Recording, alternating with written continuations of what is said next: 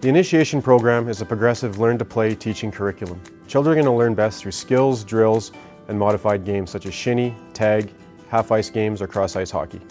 The fundamental skills of skating, puck handling, passing, and shooting are introduced and practiced in a progressive, one step at a time manner, with the goal of building a strong skill foundation for future years.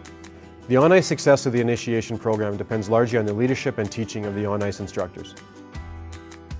The instructors will teach players the basic skills necessary to play the game of hockey, so when it comes time to play the games, they'll have the ability and confidence to succeed. Well, I think number one, they're always moving, they're always having fun, but they're always touching the puck. You know, when you put little guys like this, five and six year olds, on 200 feet of ice by 85, that's a lot of room for the puck to move and that's a lot of ice for little legs to cover. When you put them on ice like this, they get to touch the puck as they're in a confined space. They get to touch the puck a lot more in practice. They get to have a lot more fun, and they certainly get to develop their skills a lot easier. You know, in the traditional sense of five-on-five 5 games with these young kids when they're five or six, they don't really get to do that that much.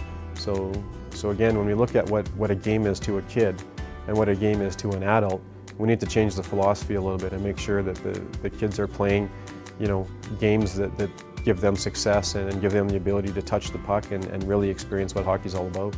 The On Ice program consists of four phases of instruction designed for the beginning hockey player. Each phase consists of lesson plans and drills that follow a defined path of progression to develop the key skills to enjoy the game. Fun activities such as small area games, relays, and cross-ice hockey are part of every practice, a game doesn't always mean a formal game with referees and scorekeepers, but games such as 3-on-3 cross-ice hockey offer more opportunities to develop skills and have fun without the pressures of trying to win.